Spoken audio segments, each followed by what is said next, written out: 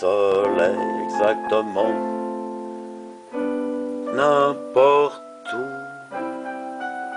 sous le soleil, sous le soleil, juste en dessous.